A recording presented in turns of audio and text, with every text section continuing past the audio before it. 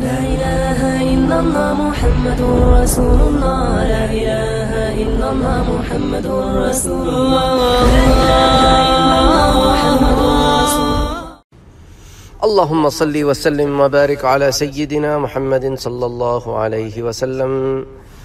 نو ہجری ماہ شوال کے آخری دنوں میں عبداللہ ابن ابی ابن سلول کو مرض موت نے آ لیا۔ آپ کو جیسے میں نے پہلے بھی عرض کیا کہ عبداللہ ابن ابی ابن سلول جو ہے، یہ رئیس المنافقین تھا، منافقوں کا سردار تھا، نام اس کا عبداللہ تھا۔ اور اس کے بیٹے کا نام بھی عبداللہ تھا، تو وہ تو پکا صحابی تھے۔ جو اس کے بیٹا تھا نا، عبداللہ ابن عبداللہ، وہ تو پکے صحابی رسول تھے۔ لیکن یہ بدبخت جو ہے، وہ رئیس المنافقین تھا۔ تو بیس روز تک یہ بیمار رہا اور اس کے بعد ذی قادہ کے مہینے میں یہ واصل جہنم ہوا۔ اچھا ضیاء القرآن میں اس کی کچھ تفصیلات آتی ہیں، وہ میں آپ کے سامنے پیش کرتا ہوں۔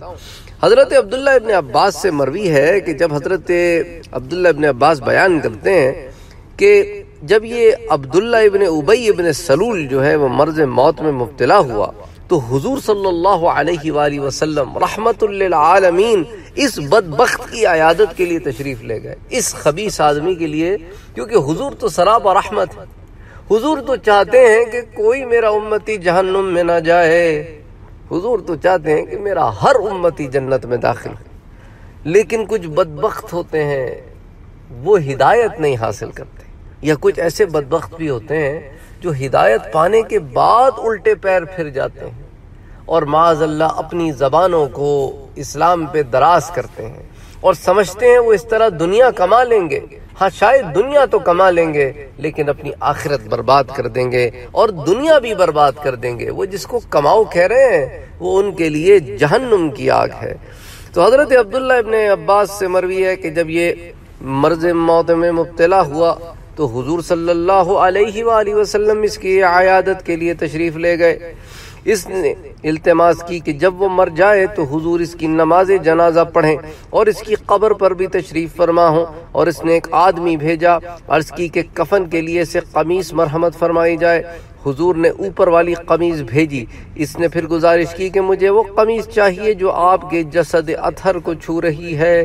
حضرت عمر پاس بیٹھے تھے۔ عرض کرنے لگے، یا رسول اللہ، آپ اس ناپاک اور گندے کو اپنی پاک قمیض کی مرحمت فرماتے ہیں۔ حضور نے حقیقت سے نقاب اٹھایا۔ ہائے ہائے۔ حضور نے حقیقت سے نقاب اٹھایا۔ میرا بھائی، یہ بڑی پیارا جملہ ہے۔ حضور صلی اللہ علیہ وآلہ وسلم سے قبل یعنی علماء کہتے ہیں، امام سیوتی خصائص کبرا میں بیان کرتے ہیں کہ حضور سے قبل انبیاء کرام کو شریعت تو دی جاتی تھی، لیکن حقیقت کا علم جو ہے وہ دیا جاتا تھا یا نہ دیا جاتا تھا، اس کے اندر حضرت موسیٰ اور حضرت خضر کی جو کا واقعہ جو قرآن کریم میں سورہ کہف میں آتا ہے، بڑی واضح دلیل ہے کہ حضرت خضر علیہ السلام کے پاس ایک علم تھا جو موسیٰ علیہ السلام کے پاس نہ تھا۔ لیکن حضور اکرم صلی اللہ علیہ وآلہ وسلم کی ذات اقدس وہ پاک ذات ہے جس کو اللہ نے طریقت و حقیقت و شریعت علم لدنی، ہر چیز سے اللہ نے نواز دیا تھا۔ اللہ اکبر، اللہ نے اپنے نبی کے لیے ہر چیز کھول دی تھی۔ آپ امام المرسلین ہیں، آپ خاتم الانبیاء والمرسلین ہیں۔ اللہ عز و جل نے اپنے پیارے حبیب صلی اللہ علیہ وآلہ وسلم پر سے علم کے بہت سارے حجابات اٹھا دیے تھے۔ اور حضور ان حجابات میں سے کچھ حجابات امت پر اٹھا دیتے تھے، جو حضور سمجھتے تھے کہ ان کی عقل میں آ جائے گی۔ اور بہت ساری باتیں حضور ہمیں بتاتے بھی نہیں تھے۔ اللہ اکبر تو حضور صلی اللہ علیہ وآلہ وسلم نے فرمایا، اے عمر، اس کافر و منافق کو میری قمیص کچھ نفع نہیں پہنچائے گی۔ ان قمیصی لا یغنی عنہ من اللہ شیئا۔ فلعل اللہ ان يدخل به الفا فی الاسلام۔ اس کے دینے میں حکمت یہ ہے کہ اللہ اس کی وجہ سے ہزاروں آدمیوں کو اسلام میں داخل کرے گا۔ اب آپ یہ دیکھیں نا، بات تو ایسی ہے کہ سمجھ میں تو نہیں آتی کہ ایک طرف حضور کہہ رہے ہیں کہ میں اس کو اپنی قمیص دوں گا اور اس سے اس کو کچھ نفع نہیں پہنچے گا۔ لیکن اس کی وجہ سے، اس کے دینے کی حکمت یہ ہے کہ اللہ تعالیٰ اس کی وجہ سے ہزاروں آدمیوں کو مشرف با اسلام کرے گا۔ تو دیکھو حضور کی قمیص کی برکت کا یہ عالم ہے میرا بھائی۔ اللہ اکبر، تو حضور کی ذات اقدس کی برکت کا کیا عالم ہوگا۔ تو منافقوں کا ایک امبو ہے کثیر ہر وقت عبداللہ ابن ابی ابن سلول کے پاس رہتا تھا۔ جب انہوں نے یہ دیکھا کہ یہ ساری عمر مخالفت کرنے کے باوجود اپنی بخشش و نجات کے لیے حضور کی قمیص کا سہارا لے رہا ہے تو ان کی آنکھوں سے غفلت کے پردے اٹھ گئے اور یہ حقیقت عیا ہو گئی کہ اس رحمت عالمین کی بارگاہ اللہ اکبر اللہ اکبر حضور صلی اللہ علیہ وآلہ وسلم کو اللہ کا نبی اور رسول ایکسپٹ کیے بغیر اللہ کے ہاں منظوری نہیں ملے گی۔ تو بجائے اس کے کہ ہم حضور کا دامن چھوڑیں، ہمیں حضور کا دامن پکڑ لینا چاہیے۔ تو انہوں نے سوچا کہ ہم ایسا کیوں نہ کریں کہ ان تبرکات کو پکڑنے کے بجائے حضور ہی کی ذات پر ہم ایمان لے آ کے حضور ہی کا دامن پکڑ لیں۔ آئے ہائے۔ اور کیوں نہ حضور ہی پر ایمان لے آئیں اور سچے دل سے اپنی گزشتہ خطاؤں کی معافی مانگیں اور حضور صلی اللہ علیہ وآلہ وسلم کی شفاعت کے مستحق ہو جائیں۔ چنانچہ اس دن ایک ہزار منافق صرف اس ایک قمیص کی برکت اور قمیص والے کے حسن خلق سے مشرف با اسلام ہو گیا۔ سو اسلم منہم یوم الف۔ تو تاریخ الخمیس کی جلد نمبر دو، صفحہ نمبر ایک سو ساٹھ پر بھی یہ واقعہ آتا ہے۔ اچھا محمد رضا نے اس کو محمد رسول اللہ، صفحہ نمبر 342 پر بھی نقل کیا۔ محمد رسول اللہ کے نام سے کتاب لکھی ہے محمد رضا نے۔ اچھا پھر تفسیر کبیر میں سورہ توبہ کی آیہ نمبر 84 کے ضمن میں بھی یہ واقعہ آتا ہے۔ ضیاء النبی میں بھی اس کو ذکر کیا گیا ہے۔ اچھا پھر ضیاء القرآن میں بھی اس کو ذکر کیا گیا اور کئی کتب ہیں جن میں اس کو ذکر کیا گیا ہے۔ اچھا صحیح بخاری کی حدیث بھی آپ ملاحظہ فرمائیے۔ حضور صلی اللہ علیہ وآلہ وسلم کی شان رحمت کی وسعتوں کا کچھ اندازہ ہو جائے گا، کیونکہ اس کو سمجھنا تو ہم لوگوں کے بس کی بات ہی نہیں ہے۔ یہ تو حضور صلی اللہ علیہ وسلم کی شان رحمت کے موتی ہیں، جن کی چمک سے ہی آنکھیں کہتی ہیں کہ سبحان اللہ اللہ اکبر۔ تو اب آپ اس کا اندازہ کریں، قال عمر۔ یا حضرت عمر نے اندازہ کہا وَقُلْتُ يَا رَسُولَ اللَّهِ تُسَلِّ عَلَيْهِ وَقَدْ قَالَ فِي يَوْمٍ، يَوْمِ كَذَا وَكَذَا وَكَذَا، وَقَالَ فِي يَوْمِ كَذَا وَكَذَا وَكَذَا۔ تو حضرت عمر رضی اللہ تعالی عنہ نے جب اس کی نماز جنازہ کا وقت آیا نا، جب یہ مر گیا، تو کہا، یا رسول اللہ، آپ اس بدبخت کی نماز جنازہ پڑھنا چاہتے ہیں۔ جس نے فلاں دن ایسے ایسے بدبودار جملے کہے تھے اور پھر فلاں روز ایسی ایسی گستاخیاں کی تھیں۔ حضور نے فرمایا، دعینی یا عمر عمر، ان باتوں کو رہنے دو۔ فَإِنِّي بَيْنَ خَيْرَتَيْن۔ اللہ نے مجھے اختیار دیا ہے۔ فإني بين خيرتين ولو أعلم أني إن زدت على السبعين غفر له لزدت. چاہے تو ان کے لیے مغفرت طلب کر اللہ نے مجھے کہا ہے کہ تم چاہے تو ان کے لیے مغفرت طلب کرو یا چاہے تو مغفرت نہ طلب کرو۔ اگر میں یہ جانتا کہ میں ستر بار سے زیادہ اگر اس کے لیے مغفرت طلب کروں تو اللہ اس کو بخش دے گا۔ تو میں ستر بار سے زیادہ اس کے لیے مغفرت طلب کرتا۔ اللہ اکبر، یہ کون کہہ رہا ہے؟ یہ میرا حبیب کہہ رہا ہے۔ یہ وہی بدبخت ہے جس نے پاک دامن بی بی عائشہ رضی اللہ تعالی عنہ پر تہمت لگائی۔ یہ وہی بدبخت عبداللہ ابن عبی ابن سلول ہے، جس کی وجہ سے مسلمانوں کی تلواریں نکل گئیں۔ اس نے کیا نہیں کیا؟ کیا نہیں کیا؟ احد میں دامن بچا گیا۔ اللہ اکبر خندق میں دامن بچا گیا۔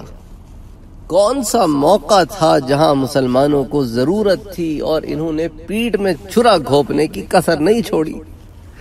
اور اس شخص کے لیے حضور کہہ رہے ہیں کہ اگر مجھے امید ہو کہ اللہ اس کو معاف کر دے، تو میں اس کو ستر دفعہ پہ بھی اگر معاف کرتے تو ستر دفعہ میں اس کے لیے معافی مانگوں گا۔ کیونکہ حضور صلی اللہ علیہ وآلہ وسلم میرا بھائی سراپا رحمت ہیں اور حضور کا امتی اتنا۔ حضور کے امت صلی اللہ علیہ وسلم کا جو امتی ہے، اس کو رحمت کیوں نہیں چھوتی؟ اس کا دل اتنا تنگ اور غلیظ کیسے ہو گیا ہے؟ اللہ سے دعا کرو کہ ہمارے دلوں سے یہ گندگی اور غلازت کو دور کر دے۔ ہم رحم کھانا کیوں بھول گئے ہیں؟ ہم رحم کھانا کیوں بھول گئے؟ ہم اسلام کے نام پر اپنے مسلمان بھائیوں کو یا کسی بھی معصوم چاہے کسی قوم و مذہب سے ہو، کیسے ہم اس کو گزند پہنچا سکتے ہیں؟ جبکہ رحمت للعالمین کا عالم یہ ہے کہ اس بدبخت کو جانتے ہیں، لیکن کہہ رہے ہیں کہ عمر، اللہ اکبر، میں اپنے رب سے اس کے بخشش کے لیے کہوں گا۔ تو اللہ عز و جل نے فوراً قرآن کریم کی یہ آیت نازل فرمائی۔ ولا تصل على احد منهم۔ نہ پڑھیے نماز جنازہ، ان میں سے کسی پر منہم ماتا۔ ابدا کبھی نہ پڑھیے۔ ولا تصل على احد منهم مات ابدا۔ ولا تقم على قبره۔ اور نہ کھڑے ہوں اس کی قبر پر۔ میرے پاک نبی صلی اللہ علیہ وآلہ وسلم، یہ تھا تو منافق۔ یہ تھا تو منافق اور آپ کی رحمت کو گوارا نہیں کہ آپ کا امتی جو ہے وہ جہنم میں جائے۔ لیکن میرے پاک نبی، انہم کفروا باللہ ورسول بے شک یہ مجھے مانتا تھا، پر آپ کو تو نہیں مانتا تھا۔ تو چونکہ آپ میرے بھیجے ہوئے ہیں کیونکہ یہ آپ کو نہیں مانتا تھا، تو گویا اس نے مجھ پر بھی کفر کیا۔ تو انہوں نے کفر کیا اللہ کے ساتھ اور اللہ کے رسول کے ساتھ۔ وَمَاتُوا وَهُمْ فاسقون۔ اور وہ مرے اس حالت میں کہ وہ نافرمان تھے۔ تو میرے پاک نبی صلی اللہ علیہ وسلم، آپ نہ پڑھیں ان کے لیے دعائے مغفرت۔ اچھا حضور اکرم صلی اللہ علیہ وسلم نے جب کہا نا عمر سے کہ عمر، دعنی یا عمر، چھوڑ دو۔ حضرت عمر بھی کہتے ہیں، حدیث شریف میں آتا ہے، مجھے نہیں سمجھ میں آیا کہ اس وقت میری طبیعت میں یہ جلال کیسے آ گیا کہ میں نے حضور سے حضور سے کہا کہ حضور، نہ نہ، اس کی نہ پڑھیں۔ اس کی نہ پڑھیں، اس بدبخت کی نہ پڑھیں۔ لیکن جب حضور نے کہا دائنی یا دائنی یا عمر عمر، جانے دو، ان باتوں کو رہنے دو۔ اور جب حضور آگے بڑھے نماز پڑھانے کے لیے، تو حضرت عمر پیچھے کھڑے ہو گئے۔ یہی اتباع ہوتی ہے، یہی اتباع ہوتی ہے کہ آپ نے ایک مشورہ دیا اپنے امیر کو۔ امیر نے مشورہ نہیں مانا، لیکن اتباع امیر لازم ہے۔ آپ پھر کھڑے ہو گئے۔ آپ نے حضور صلی اللہ علیہ وسلم کی بات پھر کھڑے ہو گئے۔ اچھا اللہ نے بھی اپنے نبی کی بات رکھی نا۔ اللہ چاہتے تو یہ قرآن کی آیت پہلے اتار دیتے کہ حضور کھڑے بھی نہ ہوتے۔ لیکن اللہ نے اپنے نبی کی بات رکھی کہ نبی سے تو، صحابی سے تو ہزار کروڑ ارب درجہ، بلکہ کوئی درجے کا نمبر ہی نہیں ہے۔ نبی کی شان تو اونچی ہوتی ہے۔ ہر لحاظ سے نبی کی شان صحابی سے اونچی ہے۔ تو اس لیے اللہ نے اپنے نبی کا مقام رکھا، اپنے نبی کی بات رکھی۔ اور جب نبی کی بات پوری ہو گئی تو پھر اللہ نے قرآن اتارا، وَلَا تُصَلِّ عَلَىٰ أَحَدٍ مِّنْهُمْ مَاتَ أَبَدًا وَلَا تَقُمْ عَلَىٰ قَبْرِهِ إِنَّهُمْ كَفَرُوا بِاللَّهِ وَرَسُولِهِ۔ یہ انہوں نے صرف اللہ اللہ سے کفر نہیں کیا، انہوں نے اللہ کے رسول سے کفر کیا ہے۔ جو میرے پاک نبی آپ کو جھٹلانے والے، میں نے کیسے معاف کر دوں؟ جو آپ کو جھٹلائے، میں اسے کیسے معاف کر دوں؟ اللہ اکبر، تو اس کے بعد اللہ کے رسول، اس کے بعد اللہ کے رسول نے کبھی کسی منافق کے لیے نہ مغفرت کی دعا کی، نہ اس کی قبر پر تشریف لے گئے۔ حضرت عمر فاروق جو حضور اکرم صلی اللہ علیہ وآلہ وسلم سے کہہ رہے تھے کہ اللہ کے رسول صلی اللہ علیہ وآلہ وسلم، آپ ان کو نماز نہ پڑھائیں۔ اس کی وجہ یہ تھی کہ سورہ توبہ کی ایک آیت آلریڈی اس زمین میں نازل ہو چکی تھی کہ استغفر لہم او لا تستغفر لہم اے نبی خواہ، آپ درخواست کریں ان کی مغفرت کے لیے یا نہ کریں۔ اس لیے اللہ کے رسول نے کہا کہ عمر اللہ نے مجھے اختیار دیا ہے کہ میں ان کے لیے درخواست کروں یا نہ کروں۔ اچھا قرآن کی جو آیت ہے وہ آگے کیا کہتی ہے؟ ان تستغفر لهم سبعین مرتن اے میرے پاک نبی، اگرچہ آپ ان کے لیے ستر مرتبہ بھی مغفرت کی دعا مانگیں، اس لیے اللہ نے، اس لیے اللہ کے رسول نے کہا کہ دیکھو اللہ نے ستر کی قید لگائی ہے نا، میں ستر سے زیادہ مانگوں گا۔ اللہ نے کہا فَلَن يَغْفِرَ اللَّهُ لَهُمْ اللہ نے ستر کی قید لگائی ہے۔ یعنی ستر یعنی کثرت کی قید لگائی ہے اور اللہ ان کو معاف نہیں کرے گا، میں اس سے زیادہ مرتبہ اپنے اللہ سے مانگوں گا، میرا اللہ مجھے دے گا۔ تو ذالک بانہم کفروا باللہ ورسولہ میرے پاک نبی، ہم نے یہ قید ان پر اس لیے لگائی ہے کہ کیونکہ انہوں نے آپ کا بھی انکار کیا ہے اور انہوں نے میرا بھی انکار کیا اور آپ کا بھی انکار کیا ہے۔ اللہ عز و جل نے کہا کہ میرے پاک نبی، یہ بظاہر تو مجھے مانتے ہیں، لیکن چونکہ آپ کو نہیں مانتے اور آپ کو میں نے بھیجا ہے، تو انہوں نے میرا بھی انکار کیا، آپ کا بھی ایمان کیا واللہ لا يهدي القوم الفاسقین۔ اور اللہ سرکشوں کو ہدایت نہیں دیا کرتے۔ تو چونکہ یہ آیت نازل ہو چکی تھی، اس لیے حضرت عمر فاروق نے کہا کہ یا رسول اللہ صلی اللہ علیہ وآلہ وسلم، اللہ تعالیٰ نے تو ان کی مغفرت کا حکم نہیں دیا۔ اچھا پھر اس کے بعد جو اللہ کے رسول نے، اس لیے حضرت عمر سے کہا، نہیں کہ اللہ نے مجھے اختیار دیا ہے۔ اچھا اس ضمن میں بعض روایات اور بھی آتی ہیں۔ ابن اسحاق، زہری، عروہ وغیرہ حضرت اسامہ ابن زید سے روایت کرتے ہیں کہ اللہ کے رسول عبداللہ ابن ابئی کی مرض موت میں عیادت کے لیے تشریف لے گئے۔ آپ نے اس میں موت کے آثار دیکھ کر فرمایا واللہ میں آپ کو یہود کی محبت سے روکا کرتا تھا۔ تو اس نے کٹ حجتی سے کہا، اسعد ابن زرارہ بھی تو یہود کو برا سمجھتے تھے، پھر کیا ہوا؟ کیا وہ موت سے بچ گئے؟ یعنی اس وقت بھی اس کٹ حجتی میں تھا کہ شاید یہود کی محبت اس کو ہلاک کر رہی ہے، یا یہود کی نفرت جو ہے وہ ہلاکت سے بچائے گی۔ تو اب جاہل آدمی ہے نا۔ واقعی بیان کہتے ہیں کہ عبداللہ بن ابئی شوال کے آخری دنوں میں بیمار ہوا اور ذلقادہ میں بیس روز بیمار ہو کر فوت ہو گیا۔